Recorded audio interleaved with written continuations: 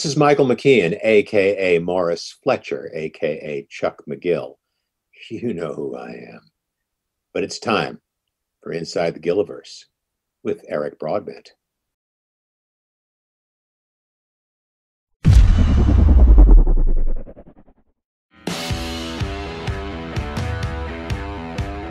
You're watching Inside the Gilliverse, talking all things Breaking Bad, El Camino, and Better Call Saul. Brought to you by the Royal Bobbles Collection at Bobbleheads.com. For all your favorite characters from the Gilliverse, shop the Royal Bobbles Collection at Bobbleheads.com. Also brought to you by Rode Microphones, the official microphone supplier of Inside the Gilliverse. See their entire lineup today at Rode.com. Now, please welcome your host, Eric Broadbent.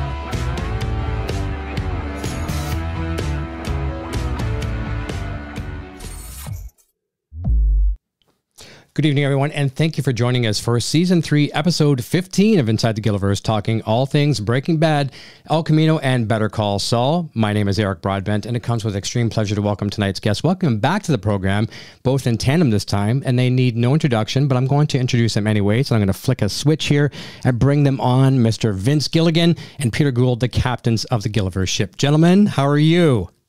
Great, doing doing great, Eric. Great to see you. Great to see everyone else. I know, I know Vince, but who's this guy? great. It's great. Great hearing all your great sponsors too, Eric. I love. I love it. Thank I didn't you. know that there was an official microphone of inside the Gil uh, into the Gilliverse. It's fantastic. Yeah, and they've got- Royal Bobbles. yes. Vince, maybe Vince will tell you later. You know, there was a time when uh, they told us that uh, they, people weren't interested in T-shirts for Breaking Bad. That's no true. one bought a T-shirt for a for a TV show. So now now there are bobbleheads, and my God, isn't that fantastic? It's There, awesome. there's incredible merch. As obviously you, you guys see now, but the merch lineup is just insane. It's never ending, and people want every single piece they can get. It's. I saw one today. Uh, the uh, U2s. Uh, they've got one of uh, Hank sitting on the toilet reading. Uh, uh, the, did you see that one, Peter? I did, yes. Is Hank on the toilet uh, looking at the uh, realizing re- the moment that he realizes who Walter White is? It's it's it's very funny. I like I it. like that one. I also like Huell lying on a Huell lying back on a big pile of money.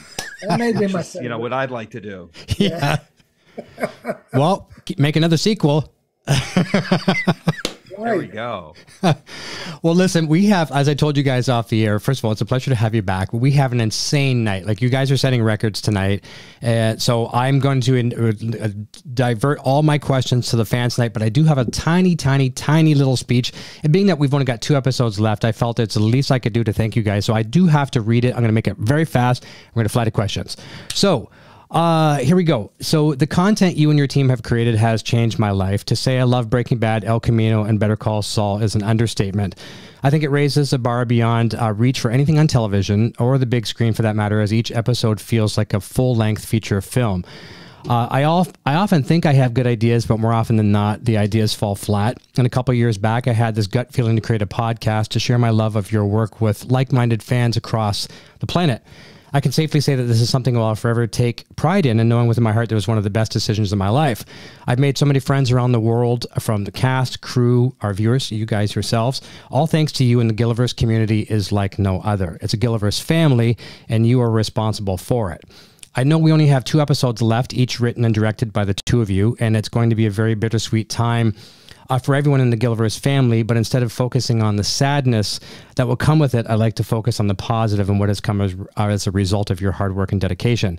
Hands down, the best television I've experienced in all my years, and the best community on the internet, bar none. And I'm almost done. On behalf of myself and everyone watching this tonight, I wish to express my sincerest gratitude and thanks to both of you. Thank you for everyone at Gilliverse headquarters for being so kind to me and my team. Uh, and P.S. Tom, thank you for believing in my idea and to your better half. Thank you for letting Tom come out and play for 10 wonderful, pl- 10 plus wonderful episodes. Love you, buddy. Now, that being said, you guys ready for a bunch of wicked, awesome questions? That was that is so that man. Wow. I yes, awesome. That thank thank you. Thank you, Eric. Thanks to everybody watching and listening. So yeah, let's do it. Right on. We're Thank- both speechless from the compliments, so we'll we're get- that's uh there you go. You you you you took the words right. Took the words away. There's no words left. Thank you, Vince. So Thank now you, we'll try to answer some questions with We're no words. All right. I- I'm gonna be no, just- you're out of words. That's right. I, I'm going to be doing sort of an interpretive dance to answer each question. No That's- problem. That's going to be my my method. hmm Okay, so here's our People love voice. seeing me dance. here's our I'm up voice. Here's our voicemail questions coming in. We have seven of these on deck. First one is our executive producer, Karina. She always has great questions. And this is, I'm not sure, to, probably to both of you. And take it away, Karina. Hi, Vince. Hi, Peter. This is Karina.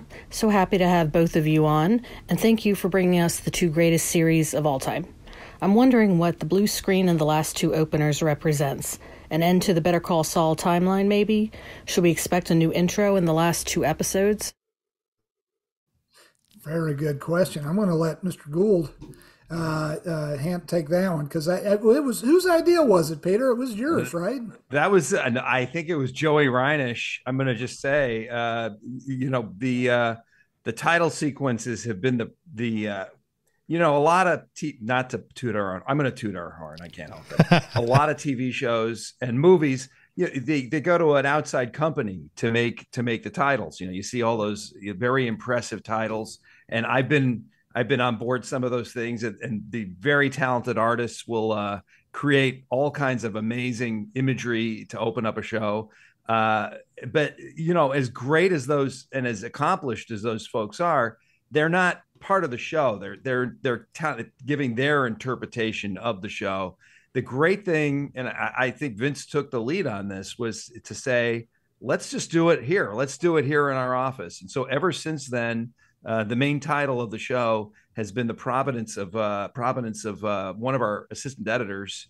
Uh, this year it was Joey Reinisch, who is no longer an assistant editor. He's actually an editor in his own right, and and a really talented one too, by the way.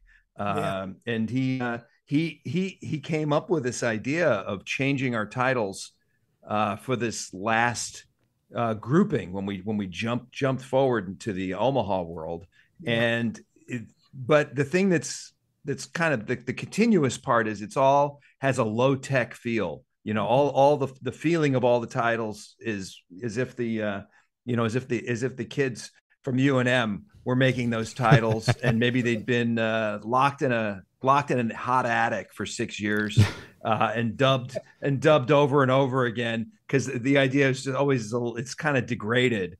Uh, and this one, uh, what what used to happen, I don't even know if you're depends on how old you are, but uh, with with uh, VHS, if if the tape started crinkling or there was uh, I, I that's how I remember it, Vince. Maybe you remember it differently. No, I If there was a problem with the tape or was or if it was blank, suddenly the screen would go blue rather than showing you all the and that, that was that was sort of our nod to the idea that the the signal, which has been kind of coming in and out, maybe the signal's going to go away. Maybe uh, and, and and maybe this maybe this machine is about to break down completely. that we're in. I love it. I love that answer. And then we're in uncharted territory. We're off the map now, and and dropping the music. I can't remember whose idea that was, but I I love that. It just would just because we love uh, Peter and I. uh, Everyone who works on the show loves Little Barrie's theme. It's just fantastic musical theme. But then it going away. Yeah, it puts you on notice, doesn't it? It it, it tells you, you know, things are uh, yeah, it's it's there's not yeah it it, it, it feels valedictory or if I'm using that word right it feels like it feels like we're coming to an end Innocence is gone. Innocence is gone now. Yeah. Yeah. And even if you paused back in the day too, you could burn the tape. You know, as you could get some bad spots on it too. It, it was it was fantastic. It's very very cool. Totally VHS feel, 100 percent on that. So good answers on that one. We're gonna jump over to. I told you about our uh, our moderator Jen Stevens and this little gem that she made. Let's show our fans that as well too. She has a question for you, and of course the Davis and Main bottle as well. I'm gonna I'm gonna make Jen. I'm gonna get in touch with you. I want to send Peter and, and Vince both one of those. So I'm gonna be uh, emailing you for that. Okay, here is her question. Hi, Vincent Peter. My name is Jen. My question is What was it like to work with the incredible Carol Burnett this season? And are there any fun stories you could share? Vince, I know you worked with her daughter Carrie on your Monday episode of The X Files. Thanks for bringing us an incredible season this year. Oh, good question. Timely question. Uh, my my wife Holly and I we we had dinner with Carol and her uh, husband Brian just last night actually, and uh, it was it was uh, she is she's she is an American treasure, as as as we as we all know. And, there might be some young folks tuning in who who don't quite know who Carol Burnett is, or hear hear other folks saying Carol Burnett. Uh, should I know who she is?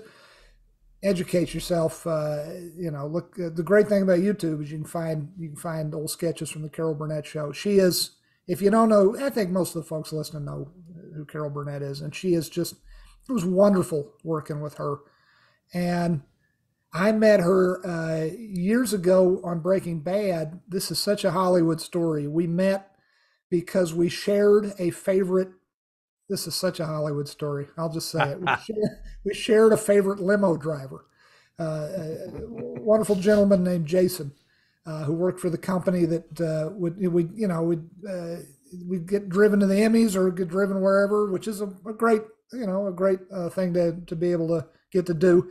And the driver we always requested is a guy named Jason, who's become a close friend to, to both of us. And he went, you know, like six, seven, eight, now probably 10, 11, 8, 9, 10 years ago, he'd say, Carol, you know, uh, I was driving uh, my friend Carol, and she loves Breaking Bad. I'd say, Carol who? He said, Carol Burnett. I said, oh my God. So he would pass along, you know, hellos between us for years. Literally, he was the go between. And finally, one day I we got Holly and I got in his car and and he said, uh, you know, Carol says we should just stop. Uh, you you guys should just uh, cut out the middleman, me, and you should guys should just go to dinner. And the rest was history. And then uh, Peter, tell uh, tell tell tell the guys how uh, how you how you met Carol.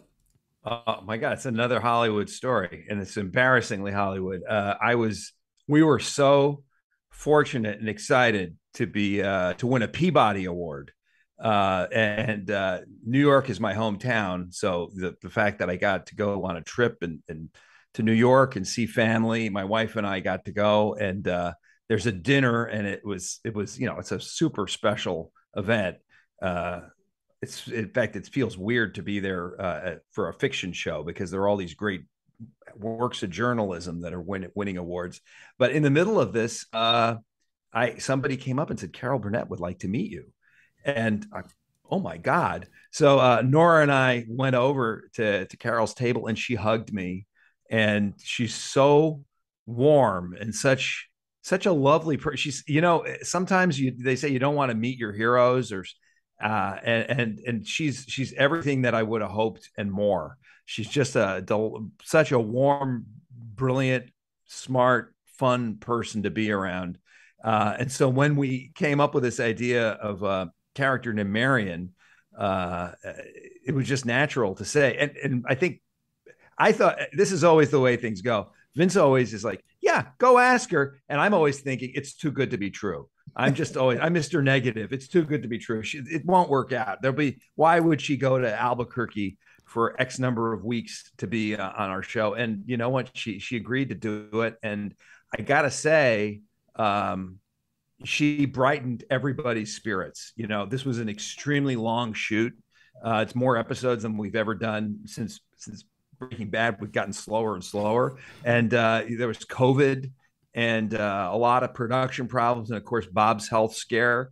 Uh, so it, it, we, everyone was, uh, I'd say, a little bit exhausted, and also basically starting in Omaha, it's sort of a new TV show. So everyone was just working crazy hours uh, and, and, working really hard, and you know it wears on you. And then here comes this uh, icon, uh, you know, icon of especially a sketch comedy, and she's working with Bob, and they had this chemistry that was just so electric. Uh, and she's just such a kind, fun person to be around. It, it raised having her there just raised everybody's spirits 600%. So uh, I don't know if, if, there's a story, uh, you know, she was willing to do the, uh, the Tarzan yell. I don't know if that's, and, and that's, that's one of her signatures. Uh, I just started reading her autobiography and I found out that that goes right back to her childhood. Uh, and it's a, it's a book I, I do recommend. So, but yeah, she, she did the, she would, she would just, I, I'm trying to think of Vince, you probably have more stories. You directed her quite a bit. It, it was. I mean, I I, I really got to direct uh, just the bait. Uh, well, we can't. Oh boy, I big. Oh. careful. careful. Just Oh, the man. big scene where Edit, edit. We're not live, right? We're not. We can edit this. Oh, yeah, well, just, you cut that out, Eric. Yeah, of course. was watered down, uh, but still, I'm almost slipped there. I, no, it's not bourbon, it's iced tea. Um, so I have no excuse. Uh, I got to direct her. It was marvelous, uh, and she's she's living history. She's uh, she's a, a America's sweetheart. She's uh, just all the great things you can say about her. And uh, and yeah, everything Peter said and more. She just it, she's just uh, uh, you know it she, it was it was such an honor and a privilege working with uh, with with Carol. I can't even believe I call you know the first couple times I met her, I kept calling her you know M- M- Ms. Burnett. Yeah. Just and you just because you just want it's like it's like meeting the queen. You're not going to say hey Lizzie, you know, but uh, uh, you know she's just she is very much Carol, and she is just a wonderful wonderful person. And I feel we we I know safe to say Peter we feel lucky to know her and to, uh, to work with her. Wonderful, wonderful. My my my mother loved her. She's passed away. I watched her as a kid. I mean, she's she's she's timeless. She's she's forever. Um, our next audio question, and Pete, you are uh, sorry, uh, yeah, Peter, you'll recognize this fellow, Raghava. He is the guy who does the pencil sketches. He did a really nice one we sent to you, and he's got a killer one. And for the for the first time ever of color. Uh, for Bob, so we're going to send to Bob's team next week when Bob's on. But here is Raghava's question, probably to both of you. Hey Vince.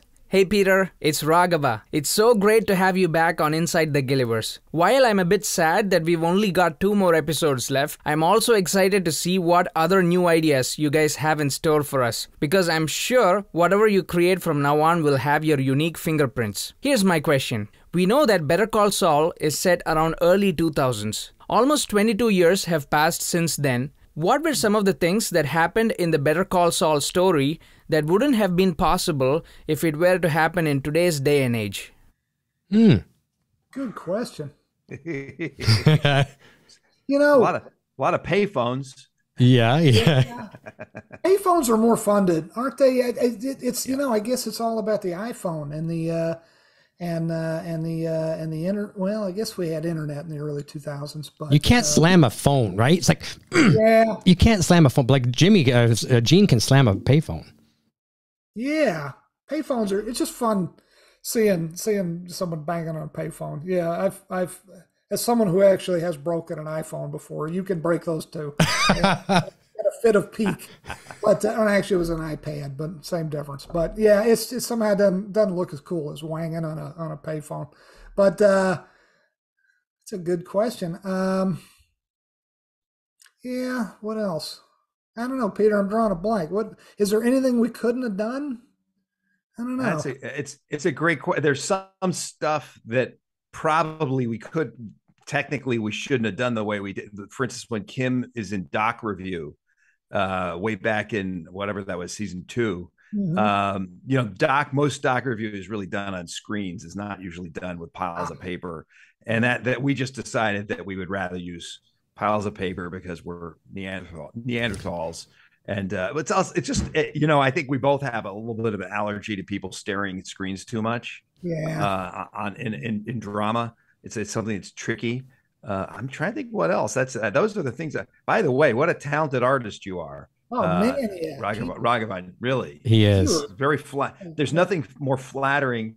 It's also it, it's it's it's it's amazing but to open up an envelope and see your own face. and not be a one like a, a, a wanted poster or something. Yeah, no, not Yes, not like you know, not like when you go in the in the post office, you know. Look Yeah. at That's right. Bulletin board there, but yeah, Yeah, he's good, and that's one of the first ones I've ever seen in color. He's done to Bob, so we're going to make sure Bob gets that one as well too. So thank you, Raghav, for that great question. Love it. good question. This one is over from Nat- Natalia Romero, as she's a longtime member and viewer of the channel. Let's listen to her question. I think she's over in Spain, I believe.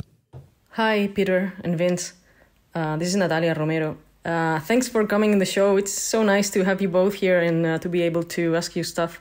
Uh, so, uh, here's my question What's happening with uh, Santiago? What happened in Santiago? Are we going to get some closure there? Or if not, can you tell us, guys, any of you? Um, well, that's my question. So, thank you for these many years of great entertainment, and well, can't wait to to see both your episodes and also to see what you have in mind as your next projects. Okay, thank you. Bye bye. So the Gus backstory, a lot of people have been really itching about that, whether it needs to be told or whether we can. What, what do you, what do we think on that?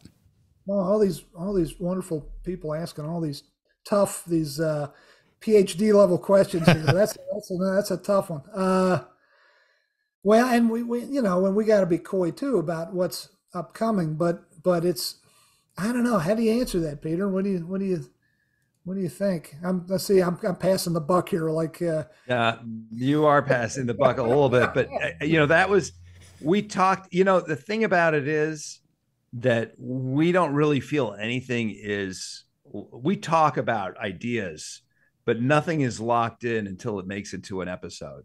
Uh, so you know we certainly had conversations about Gus being part of the Pinochet regime and and and having that having that as part. But I, I, I those are all uh, a little loose. It's loose until until until it becomes uh, it becomes part of the story. So I I don't think that there's I don't I mean you know it's, it's I'd be interested to see uh, some fan fiction uh, to see what or or if uh, if if uh, you know the uh, you know the Gus Fring the Gus Fring uh, prequel series uh, shows up. there you go. I think I think we got to leave we got to leave our options open. That's right. So so in other words, Peter Gould, are you saying uh, Natalia, don't hold your breath to hear in in the next two episodes about about this? Well, I, I think we have enough. I think there's enough open territory for us to to admit that you're not going to see a flashback to what happened in Chile. I think you're safe on that. Met Gus Fring. I think there's there's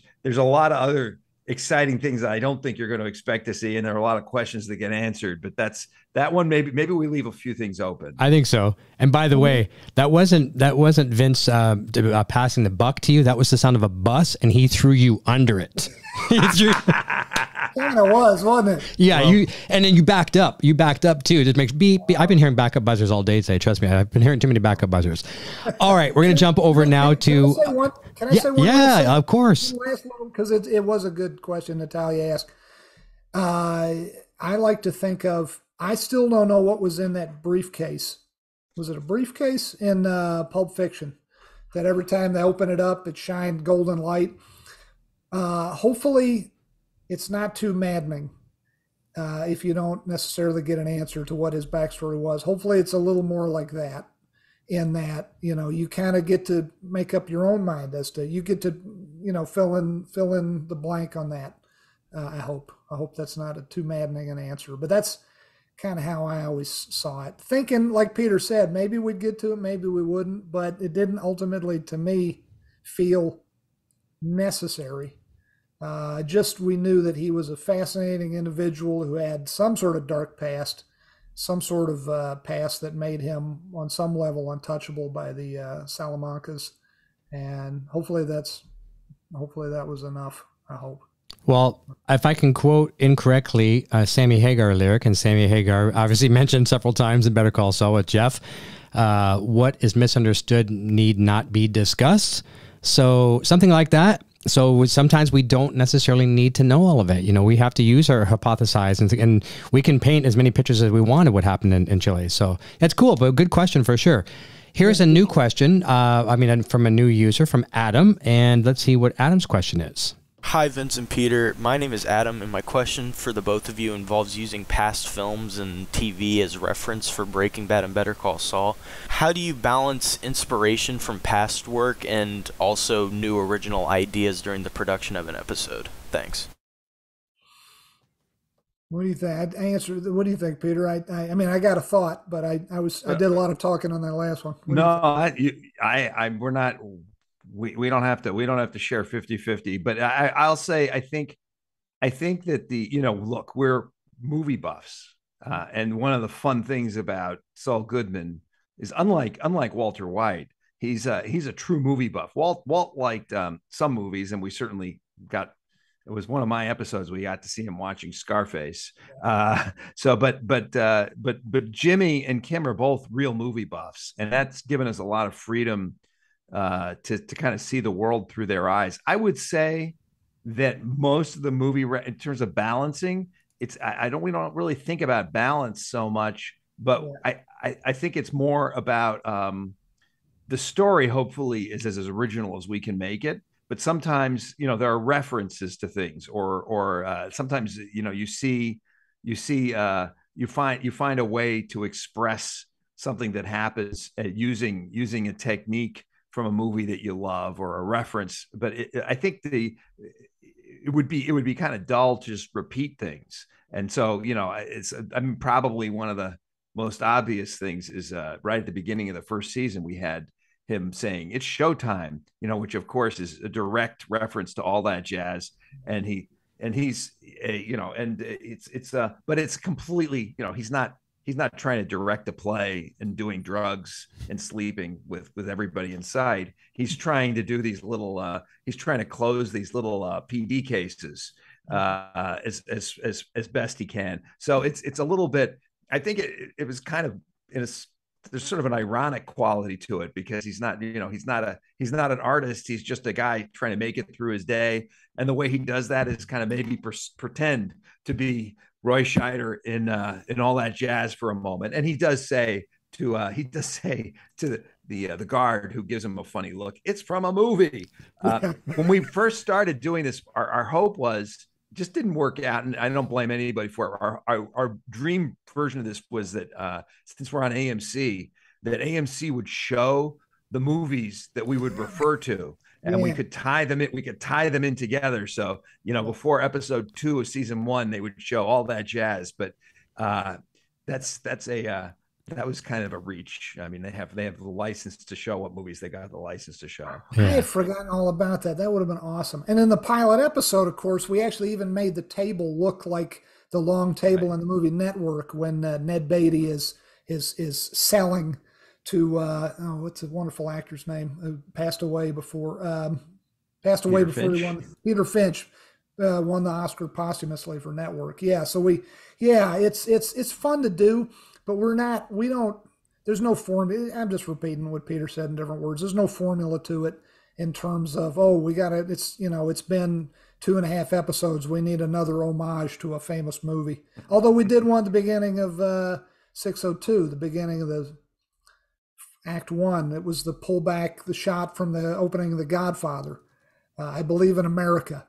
The uh, the the the the uh, the the, the uh, Undertaker character who's asking for for vengeance, and uh, it's fun doing them. But the real answer is we're trying to invent our own new stuff. It's not easy.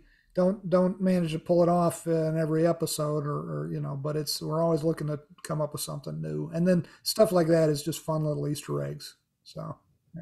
Fantastic, fantastic. We have two audio questions left. The next one is an, from a new uh, member of our channel too. His name is Baxter. Here is Baxter's question. Hi, Vince. Hi, Peter. Baxter here.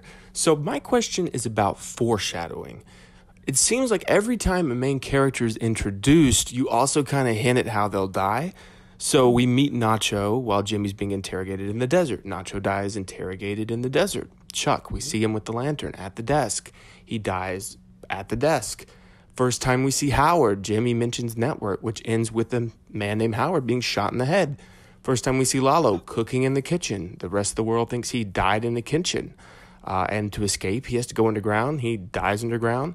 Even in Breaking Bad, the first shot before we see Gus is the ground shot of the wheelchair ramp in front of Los Pollos Hermanos. And then as soon as he comes on screen, there's a little ding from the cash register.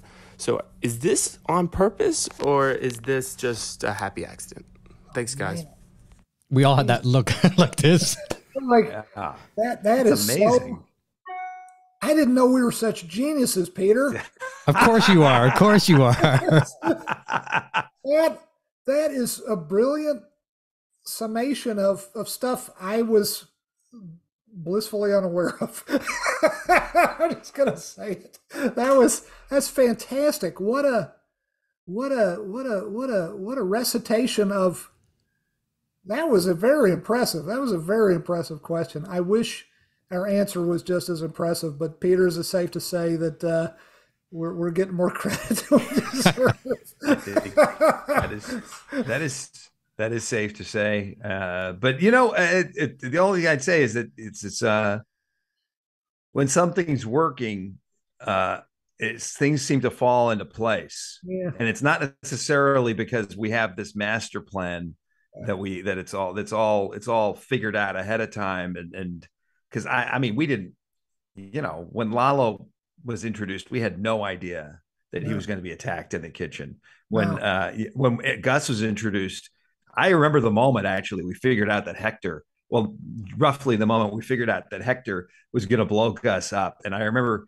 we wrote on the on a card ding boom. Yeah. And then whenever whenever somebody visited the writers room vince insisted that we take the card down because it was such an important idea and he felt that ding boom was just going to give it all. It was so obvious what was going to happen from ding boom. Uh, uh, so yeah I, I, we didn't we didn't know those things.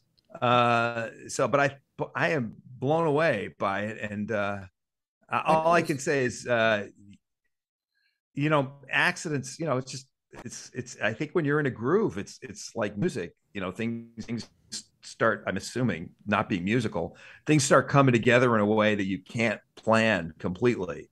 Uh, there's there's uh and and and I think when some when you're when you're playing really well, maybe uh maybe maybe sometimes there something's maybe it's a happy accident or uh or maybe I don't know. That's I that's the best I can do for an answer.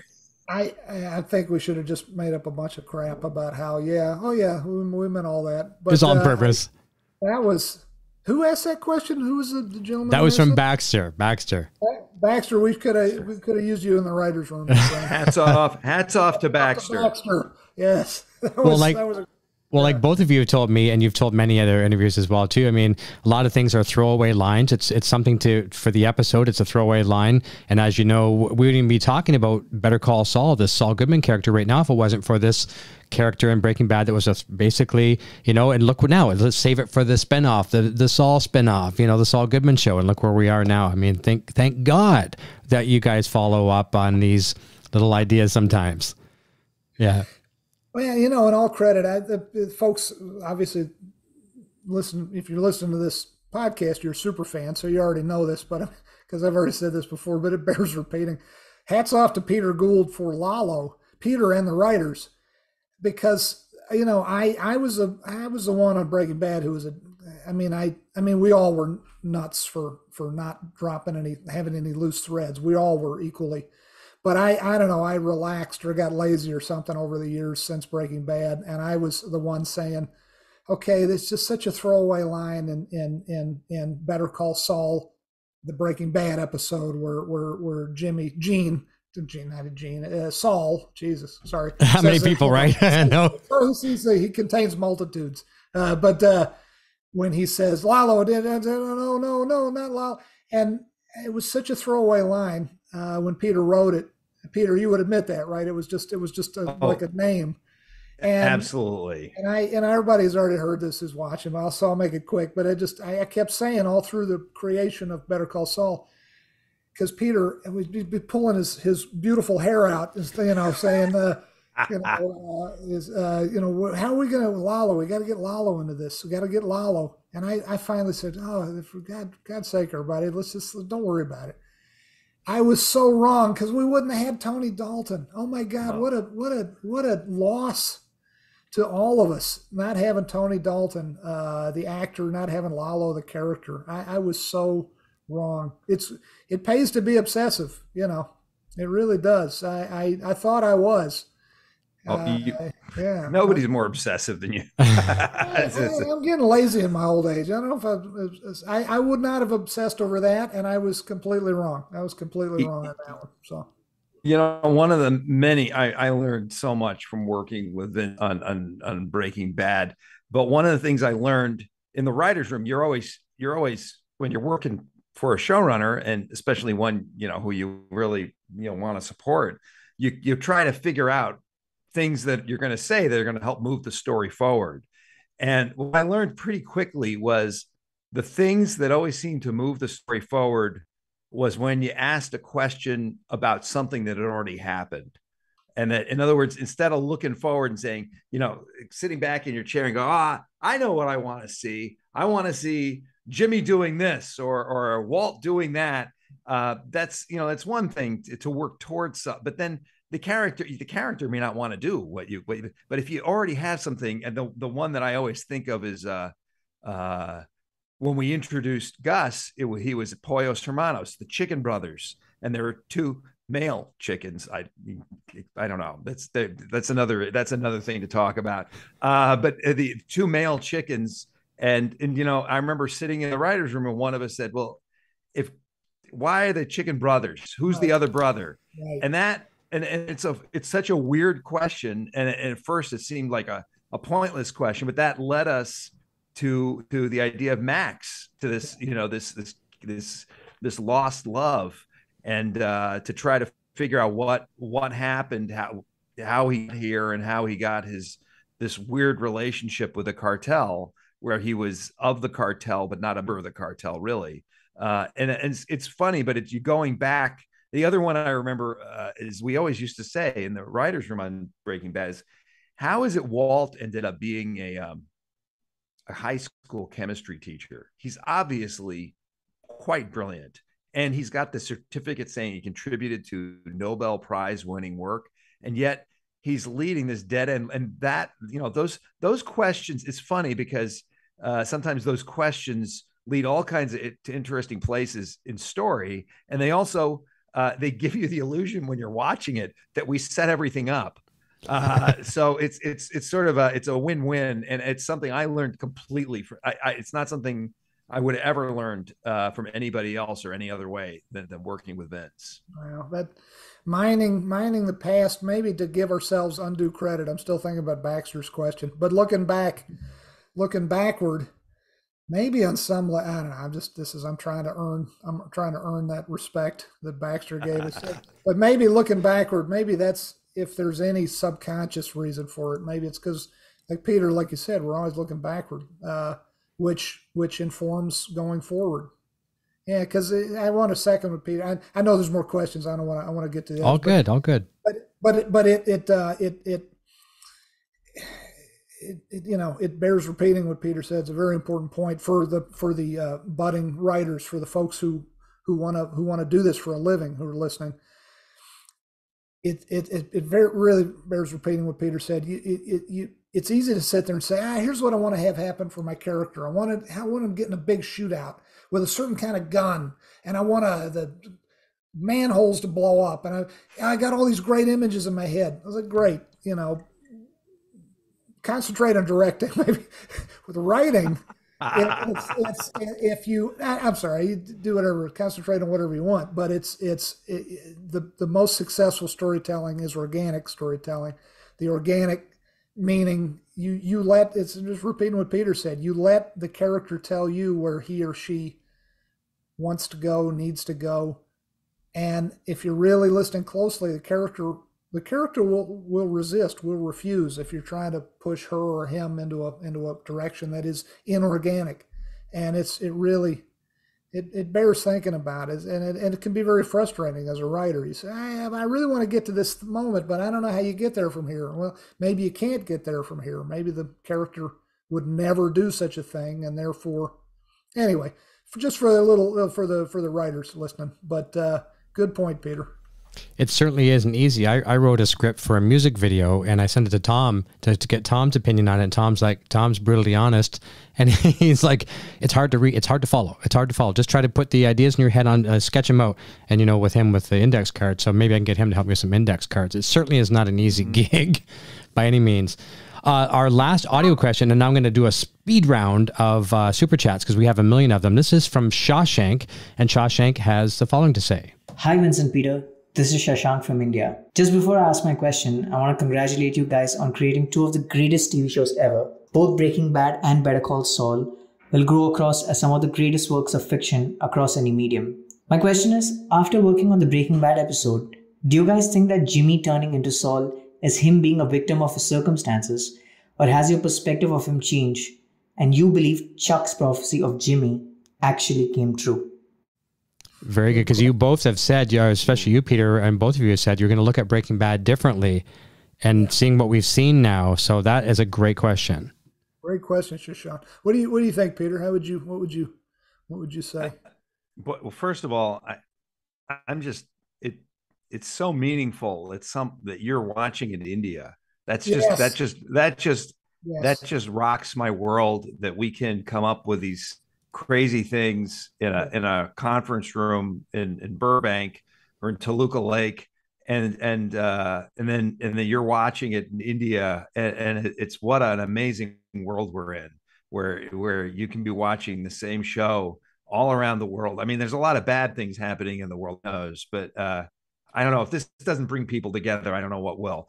Uh, having having said that, now what was the question? Uh, you know, I think you know we're dramatists first. I mean, that's that's really our number one job and it's tricky because it's it's hard to write about someone who's a pure victim of circumstances yeah. and I, I, think that the people always have a choice about or not always but but the characters that we're writing about have a lot of agency uh, about how they're going to how they're going to um, react to the circumstances they're in but having said that it is there is fascinating that that what chuck said about jimmy was he right or did it become a self-fulfilling prophecy? Is is he is is is chuck I, don't think you can say chuck is responsible for what jimmy does because i think everyone's responsible for their own actions especially uh you know nobody's nobody nobody's uh, kidnapped kidnapped uh, uh, his you know jimmy's jimmy's kid to make him do this or that uh the closest thing we got to that is when kim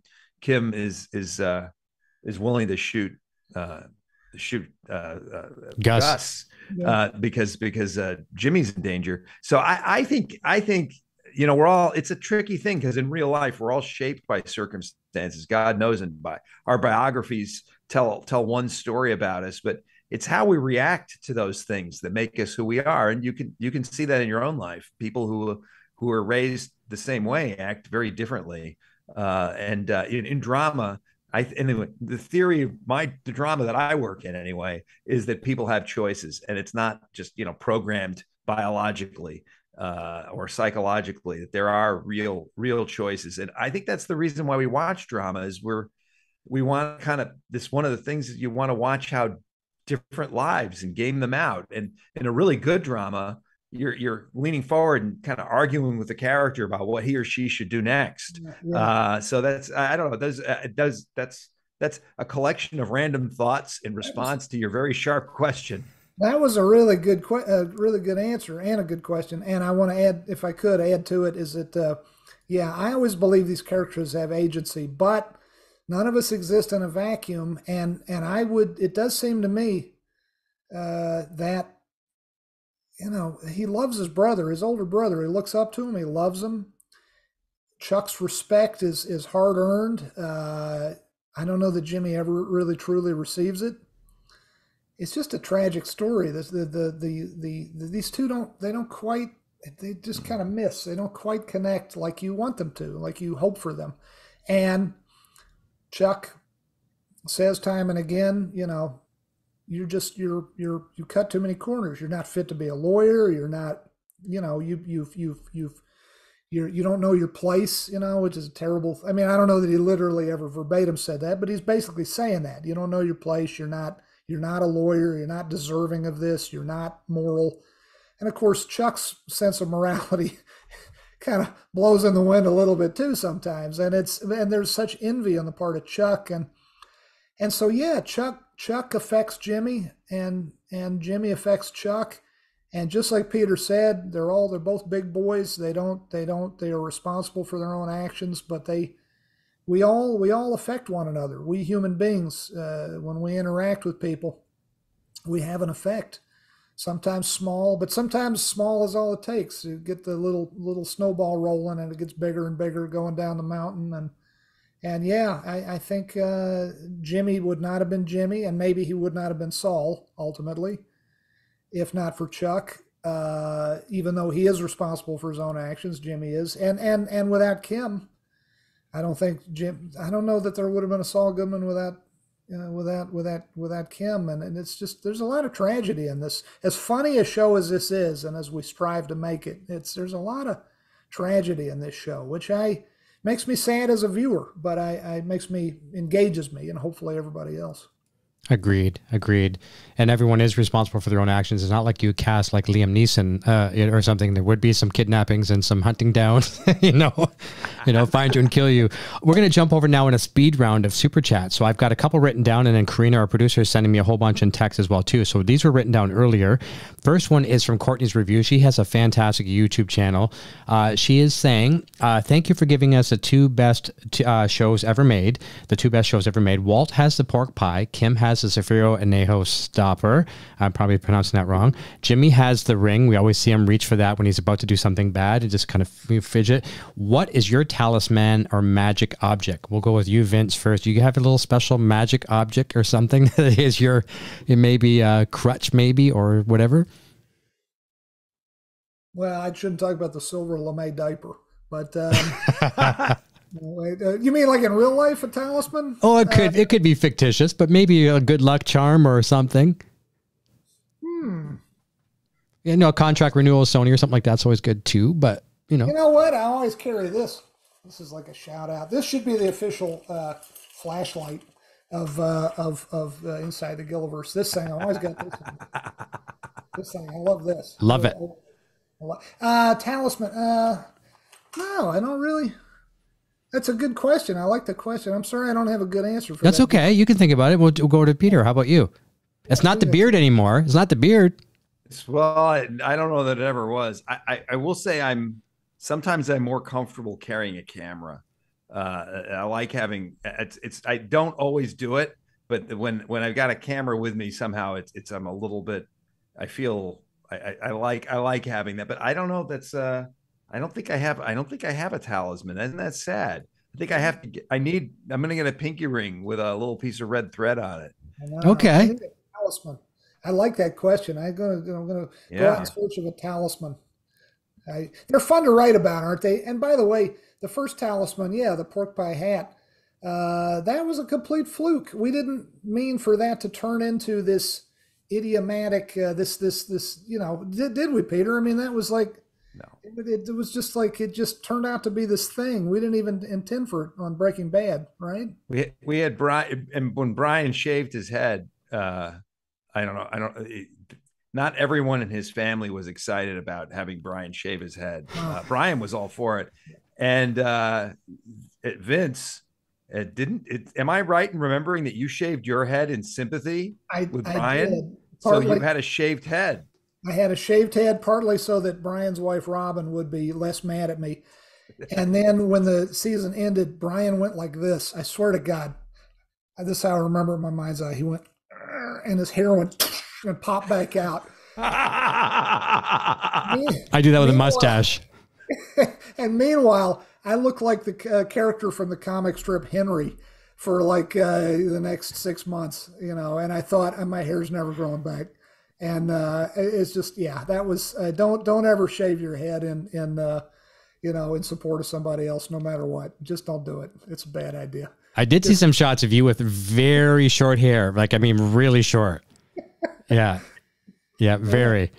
We're gonna also, jump when you got a weird shaped head you know oh you yeah yeah. Sometimes hair is a good thing. Yep yep. I, like me. I look like a light bulb or something Another one from VPK says, Peter and Vince, what were your react? Oh, this is good. What were your reactions when you discovered that Rhea Seehorn got her first two Emmy nominations? That was awesome. How great was that, Peter? Joy. I mean, it's just uh, joy and thrill. I, I mean, you know, you know, you've had her on the show. She's just one of the great people I've ever met. She's talented. She's and she's got such humility and you know everybody on the show just roots for her so much um, and it's such that was one of the reasons i was so confident that she'd do it. In addition to the fact that she's a brilliant person i was very confident she would do well directing because everybody everybody on the show would walk through fire for her. Uh, she's just one of those she's one of those people and i i mean she deserves all the recognition you could possibly get. I, I you know, so I, I think we were all thrilled. I mean, there's when I talked to Bob that morning, I was congratulating him on get his nomination. All he could talk about was Rhea. Yeah. So That's we so we cool. were all we were all thrilled, and it was it was uh it's it's a uh, it's really exciting, and she's she's. I think we're just at the beginning of an amazing career for her. Yeah, no, she's she's just the cutest thing ever and the most talented actor ever, and she is just the sweetest person. And uh, yeah, that was just like it was it was great. It was a great that was a great morning. The whole Gilliverse was happy. And by the way, both Bob and Rhea will be here next Friday night, same time as well too. Um, there is a next super chat. Uh, Jonathan Tessier says, wondering if there will ever be a Breaking Bad or Better Call Saul video game, something similar similar to Grand Theft Auto. we talk about licensing at the top of the show. That'd be pretty cool to get in some video games. Has that ever been toyed around with that uh, at uh, Gilliverse headquarters? Good, good, good thinking. Uh, we did, you know, early on. I'm not much of a video game player, but I, I, how can you not know of Grand Theft Auto? And I remember saying to the guys uh, who who said, uh, you know, that, they're off running Apple now. The two gentlemen who said yes, originally Breaking Bad. I said, you know, who owns Grand Theft Auto? Can't you have like a module? Can there be like a, a Breaking Bad? Still makes sense to me. Uh, that never came to fruition. Uh, there have been quite a few attempts at video games. Uh, some of them kind of sort of made it to market. Uh, we tried to do a VR uh, experience with the Sony PlayStation VR headset. Uh, we tried to do, we did a mobile game. It lasted for a little while. Uh, Jen Carroll, the in, in, inestimable. Uh, what's it like a great thing to call Jen? Like she's like she's amazing. Best. She's amazing. She's amazing. Inestimable. In, in, I can't even say that word. Anyway, Jen is amazing. She had uh, tornado in human form. Tornado, yeah, like the, the like the Tasmanian devil. Yeah. yeah. Uh, she's wonderful. And she put a lot of energy and a lot of effort and a lot of talent into writing three or four different uh, uh, uh, stories for three or four different video games, including the VR thing. There was a lot of people hours poured into that. Uh, and it just, you know, it's making a video game is damn hard. The what little I learned about it through this process, it literally takes years, years, and millions of dollars, especially when you're trying to break new ground with VR and whatnot. Never quite came to fruition. It's a shame. And sometimes, but, even with the title, like with the, the name behind it, it can still not be good if it, the content's not good, right? It's not just, you can't just bank on the name. It's all so true. It's all about the execution. What's that famous story? I do remember playing the Atari. Oh yeah, early '80s. What was the famous uh, ET? The ET game. ET. Yeah. They the literally they ex yeah. they right? excavated them. They were yeah. they were bulldozing them in the desert somewhere in Nevada, and they've they've excavated some of the ET games. Yeah, look. The, I mean, but, but Vince, wasn't there a um? Isn't there a slot machine in Las Vegas? A Breaking Bad slot machine? There was. I was in Las Vegas recently. Uh, um, I'm proud to say I wandered around a uh, uh, wandered around a, uh, a, a, casino in North Las Vegas for a day and a half. Did not put a single quarter. I, probably there's no machine that takes a quarter anymore. Probably everything's five bucks. Did not put any money into any of them. But I was looking all around. I was there for. Uh, it's a long story. It had nothing to do with anything. But I looked all around. I, you know, I don't know. They, there was a Breaking Bad slot machine. I don't know. It must not have been a big hit because I, I didn't see it at this casino. I don't I don't know if they, uh, you know, you just never know. It's same with the video games. You don't know what what's gonna click with people. It's mm-hmm. boy, if you're gonna make a video game, and we are, you know, all joking aside, we uh, the, the, the, the way fans like the folks watching this love these shows is very is very very pride makes us very proud.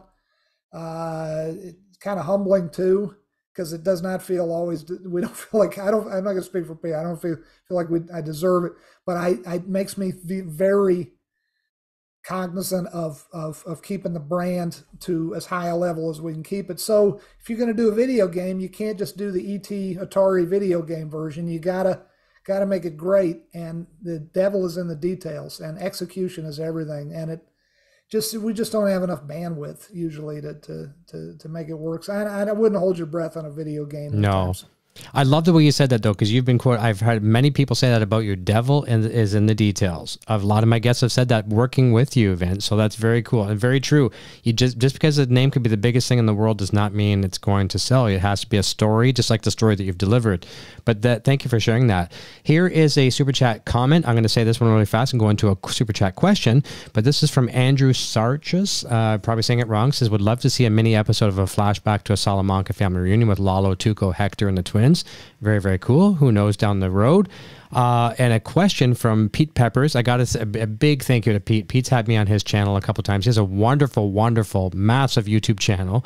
And he says, not knowing where Jimmy and Kim's relationship was going, how do you approach crafting their early scenes? It's so impressive how you build on little things and make them feel so natural and familiar. Good question, Peter. Take it because that's I mean because but to start with, we didn't know where it was going, right? Safe to say. No, no, we didn't. We, you know, I think the the big one of maybe the biggest surprise of the show is that it turns out to be uh, tragic.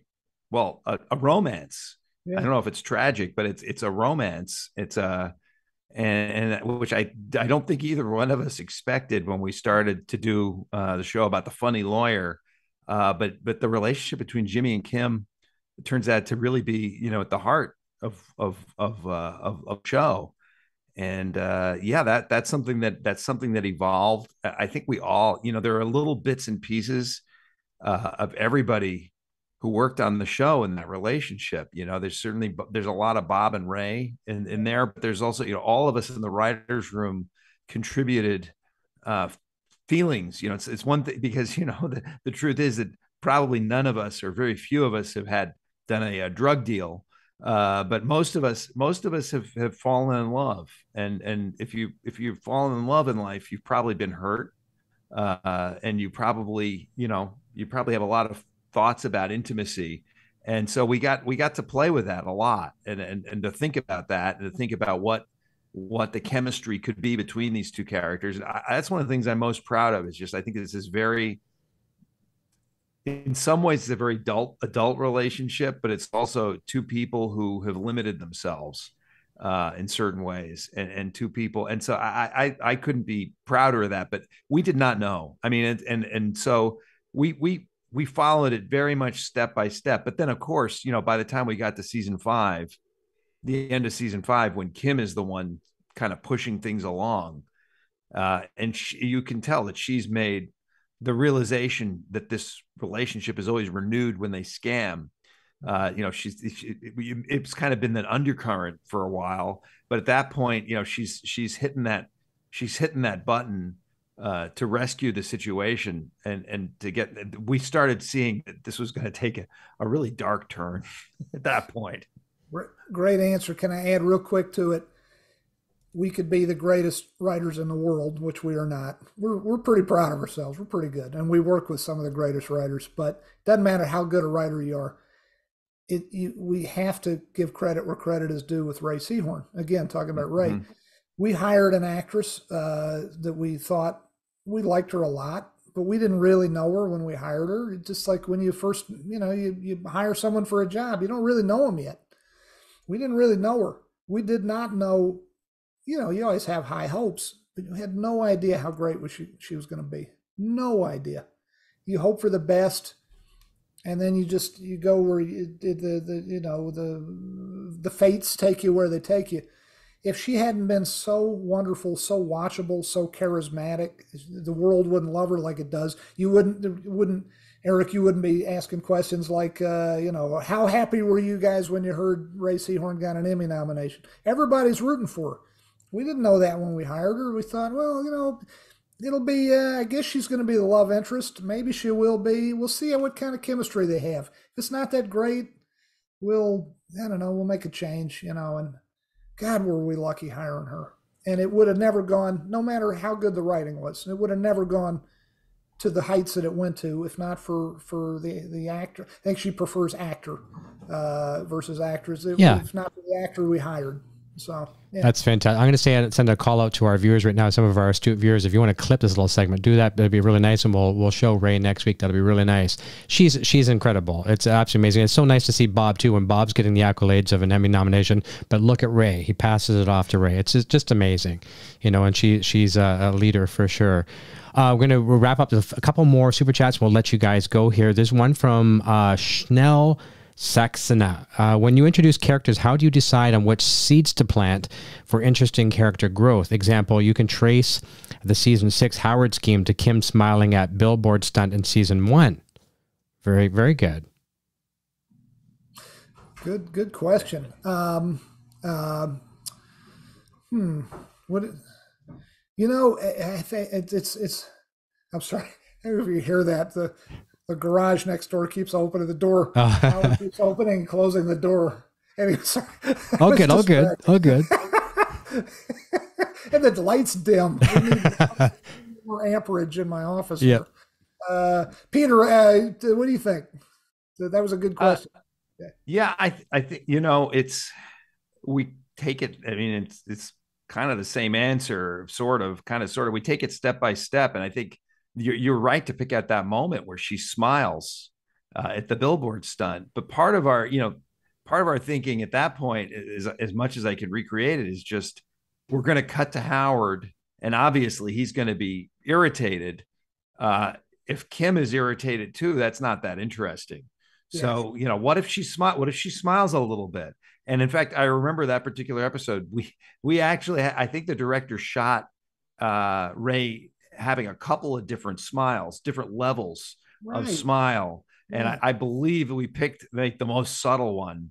Uh, and that was when you started, you know, it's interesting because those silent moments, it's it's a fascinating thing because those silent moments you learn so much about the actor you learn so much about the character and one of the things that we learned was that Rhea very much like bryan cranston actually uh, plays can play silence like uh, as if she's as if she's got an entire speech and you can't take your eyes off her. And then just like vince said i mean uh, he said it beautifully the joy of this is that we get to watch the actors and kind of see what they do with the material and then write to that. Uh, so you know it's because I, I, mean michael mckean i don't think when I, I remember when we wrote uh, the first episode with uh, chuck i think our idea was mostly that that uh, chuck was uh, a burden to jimmy uh, that was that was what we were trying to do. We wanted to Jimmy to have a little bit of a burden to humanize him, to yeah. to get to get under his skin, somebody who he cared about. Because if you don't care about anybody, you can't be hurt. Um, you know, so it it really felt right that he was in his own way defending his brother. And then Michael came in and he played. I've said this before, but he played it with such pride that suddenly it's like, wait a minute, what's there's more to this relationship. He is not just a burden. And just like with Rhea, she could t- take and i think in in in the pilot that vince directed and that we wrote together she has i think like three lines yeah and you know it's and i think that was um you, you just saw everything and part of that of course was vince's wonderful directing and a lot of it was just Rhea and it takes a lot of confidence for an actor. That takes that's one of the things we don't talk about it's not just artistry it's confidence. She has she had the confidence to know and she puts a lot of thought into everything that she does but she had the confidence to know that she was making the points that needed to be made without having to say a lot of words. Yeah. and that's i think that's anyway that's those are just adding adding to what vince just said. No excellent excellent answer. And and uh, just to because i can't help myself. It, it again to, to to to to drive home the point we get a lot of credit. Thank thank you guys for giving us all this credit for having all this stuff planned out from the from the jump right from the beginning. And we don't we don't. It's just a, that's just the honest answer uh, again for the for the for the for the folks who who who want to who want to do this for a living who are watching you you don't have to have all the answers at the beginning. That's the beauty of this job. That's why i love tv so much. In a, in a movie yeah you gotta you gotta you got a script you got a beginning a middle and an end. It's an hour and a half long hopefully. More and more they're two hours plus, but uh, you know, including some stuff I've done. But uh, you know, but and and it's a it's a finished thing. But with a TV show, it's an organic, living thing that just goes on and on. You hope, you hope, you hope you don't get canceled, And when you have that opportunity, it grows and it thrives. And you hear people sometimes I hear showrunners saying, "Oh, I knew the ending before I ever."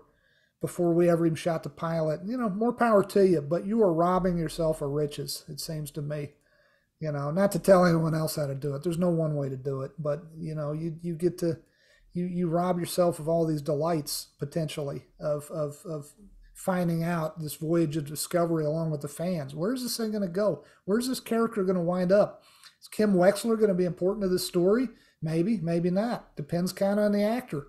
Depends on a lot of things. You know it depends on it's just if you roll with it it it's becomes uh always scary, but also kind of delightful.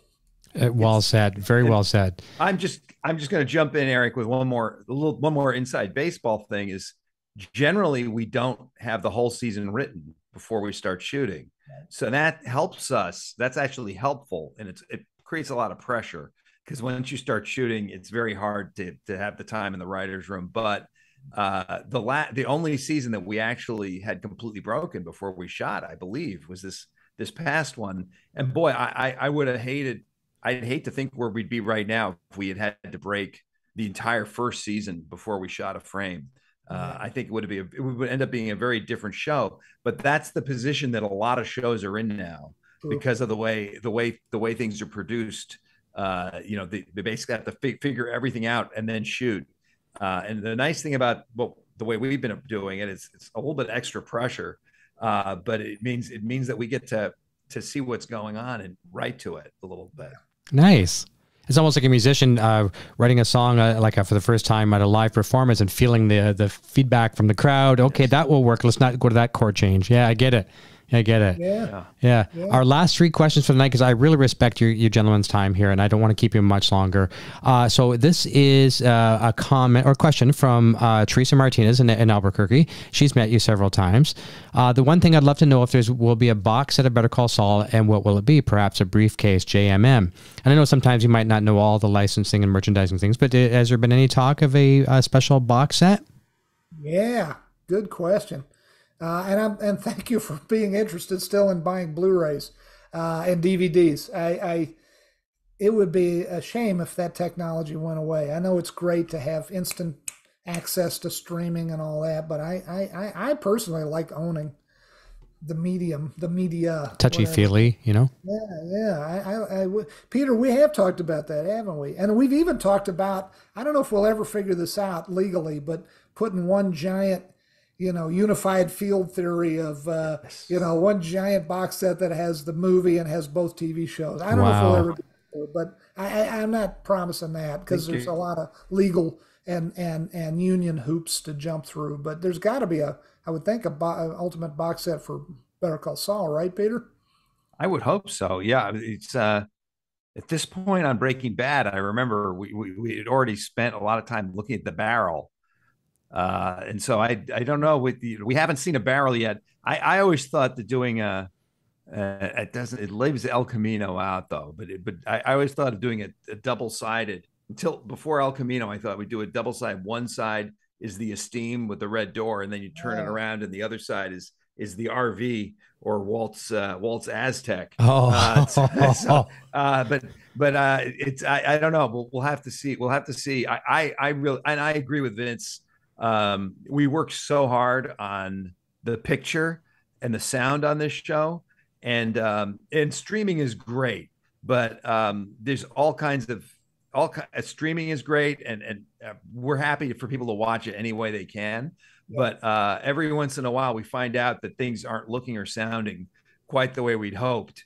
And uh, that's one of the reasons why we just love the fact that there's uh, Blu-ray because Blu-ray really is yeah. uh, you're going to catch so much more on the picture and the sound that we spent many, many, many, many a long month and week and year uh, on, uh, on, on every every shot and every moment of sound, and and the people we work with, the boy, the the directors of photography and the colorists and the people in post and our sound mixers and the sound recordists, they do just amazing work, and and I think maybe the at the moment the best way to appreciate that is if you, if you have that if you have that uh, physical physical media so true I want to we want to make diane mercer happy Yes, that's right. That's right. And, and uh, who is so more than any yes. single other person is is responsible for this show looking and sounding so good uh, because she is the ultimate authority of, of that. And yeah, so true. I hey, maybe you could do yeah, you could do the Aztek on one side and the and the and the Esteem on the other, and then from the top down, it would be the El Camino.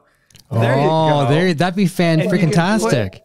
And you can put Walt Walt at the at the steering wheel and Jimmy at the steering yeah. wheel, and looking down on uh, you know through the windshield of the El Camino. Yeah, I wonder. I like it. That's fantastic. I just had Karina, our production manager, uh, text us to say we just broke 700 view or 600 viewers right now. Thank you very much. That's fantastic.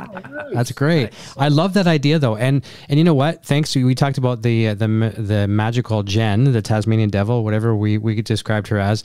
She sent me a copy. She had uh, the team send me a couple copies of the El Camino vinyl, and every every single show before I go live with you guys and girls, I listen to that. I get in the mood. So I love the physical medium as well too, and I love that. I love that soundtrack. It's great. So our last two questions uh, for the evening, and I'm going to let you guys get off to your weekend. From Paul Sura, he's that sexy voice at the top of you're listening to blah blah blah. Uh, that's him. He says, was it deliberate to correlate the fact that Jimmy's phone call on 11-12, 2010 and Walt's cancer diagnosis were both on or around their 50th birthdays and were kind of launching points of them taking their final stance? God bless you guys. I I am the last person to ask about the uh, timeline. The timeline. Who was who was responsible for this brilliant timeline, Peter? It was it was it was was it it was uh, there's a lot of young ladies in the office were were responsible. Is is uh, was it Ariel to start? For a long with? time, it was Ariel Levine. Yeah. Uh, for but they, there's yeah, she there were a lot of contributions from that yeah. that great office, yeah. full of talented people who are all uh, scattered to the four winds this season because of COVID. Um, I will say, sometimes, yeah, I, I can't, I can't speak for Walt, but I can tell you that uh, my wife's birthday is is uh, is uh, November twelfth, and so that that that that became uh, that became uh, Jimmy's birthday, and also the day the day that. Uh, and he doesn't remark on it, but it clearly it must be his birthday when he's getting when he makes that call when Francesca calls him in uh, episode 11. Wow. So, yes. And that was fantastic. What an! I've watched that episode five times in, in the past few days. Oh, fantastic. It's, yeah, it's way to go, Tom. Oh, thank don't, you for watching. Don't, thank you for watching. Don't don't don't don't swell his head. He just. uh, oh, I know. I know.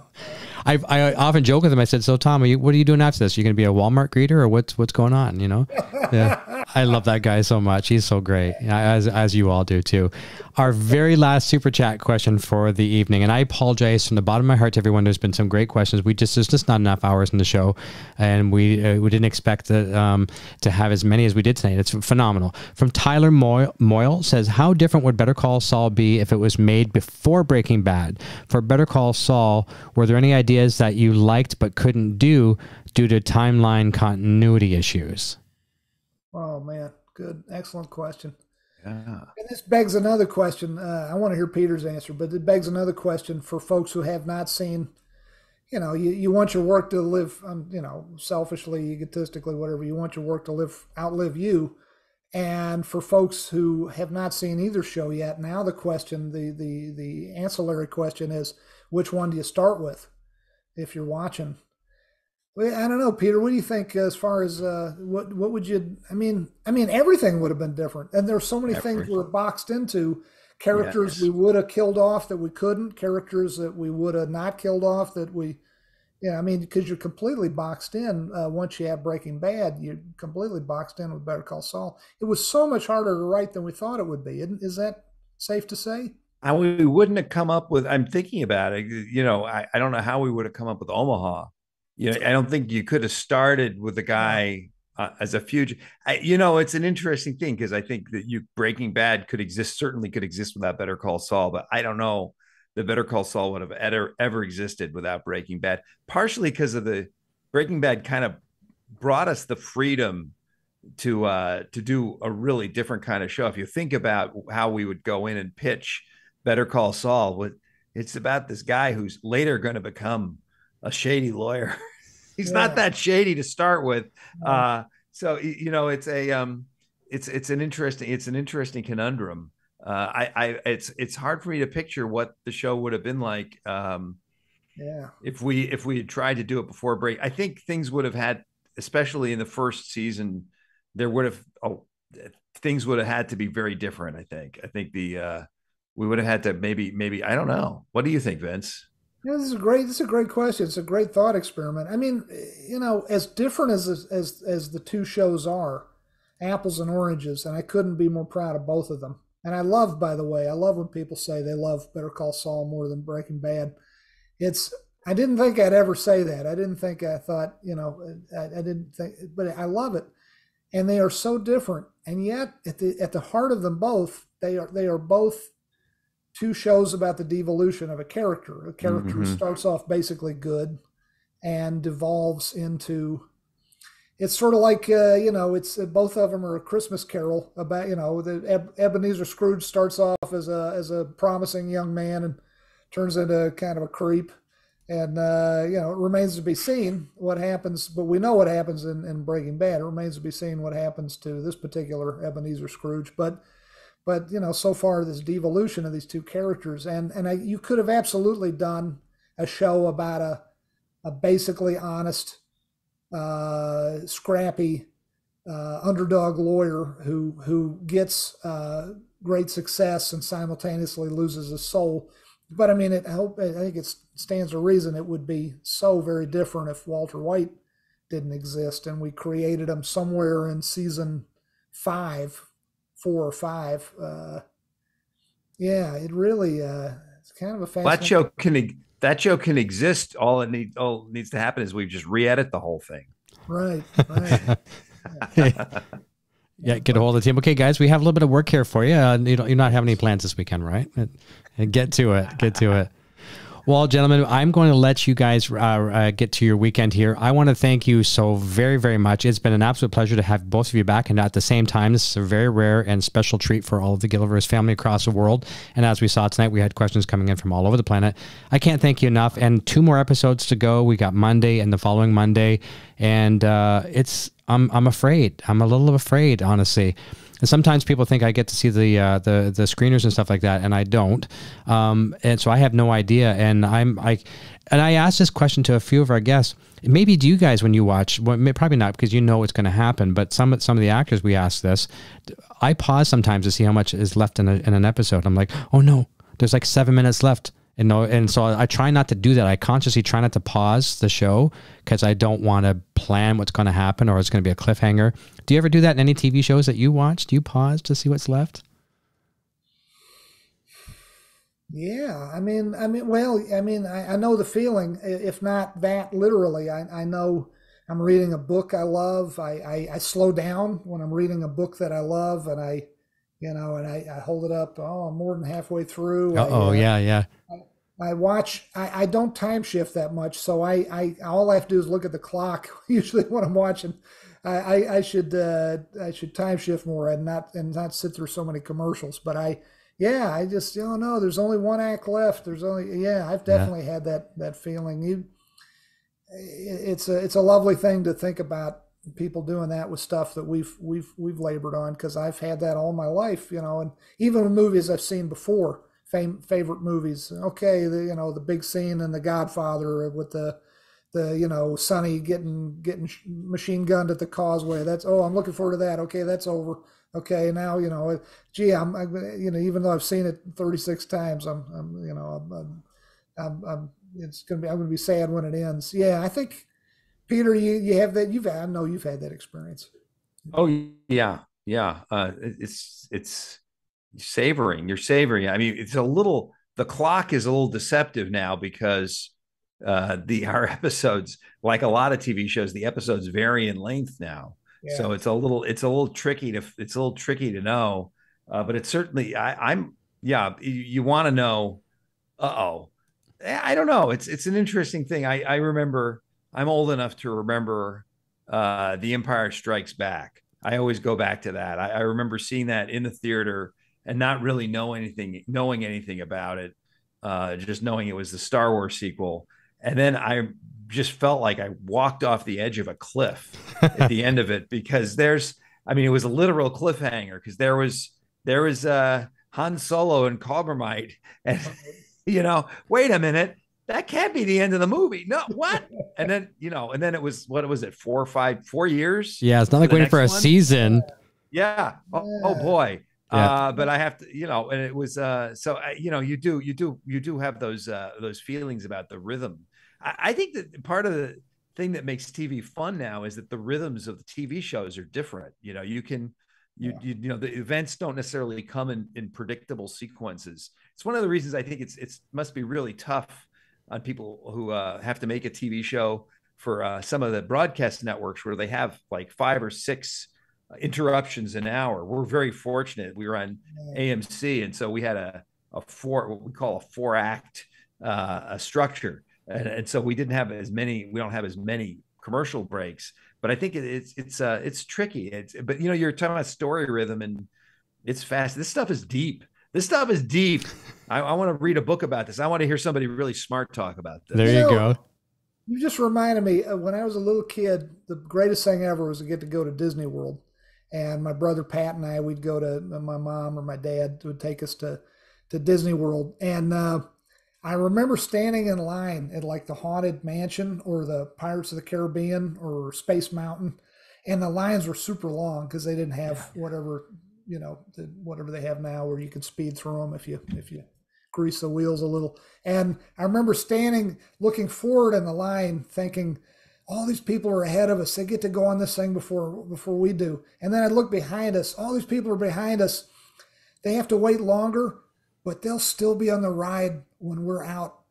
And after the ride is over for us, they'll still be enjoying it. It was this weird, like it, like it would. I would. I. I don't know. I was such a weird little kid. I guess it's a good way to experience that's, it for sure. Yeah, everyone's going to take the, the ride that's a story of the human race. You know, yeah. all the people who come before us and the people who are who are yet to come. Wow. Well, it's all a ride at Disneyland. Yes. But that in that Love perspective, it. look at look what's been brought before uh, before you guys in television and and and uh, the big screen. And there's going to be many beautiful things after, but look what you guys have brought to us, to the world. So thank you, thank you.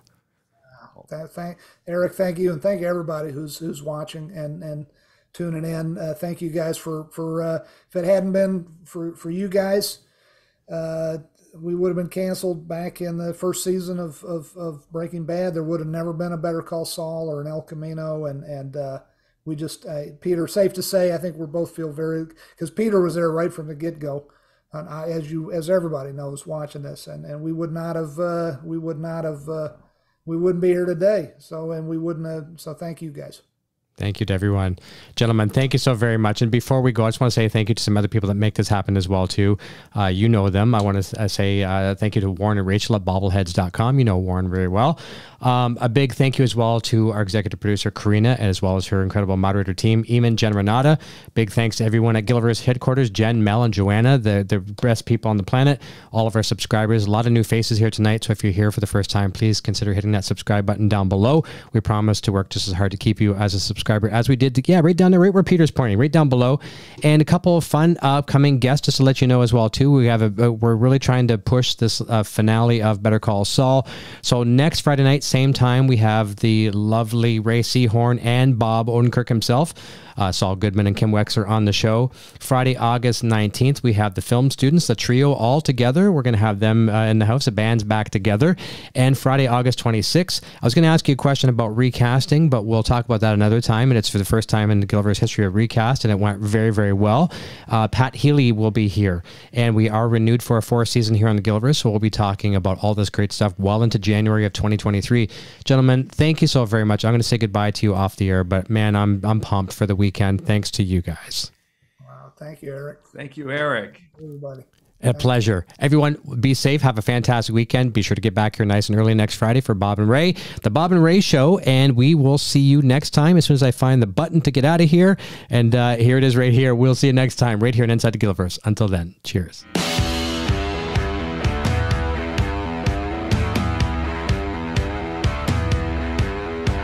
Thanks again for tuning into Inside the Gilliverse with Eric Broadbent. Be sure to check back each week for more great discussions and interviews with cast and crew from Breaking Bad, El Camino, and Better Call Saul. Please like, subscribe, and share this video with your friends.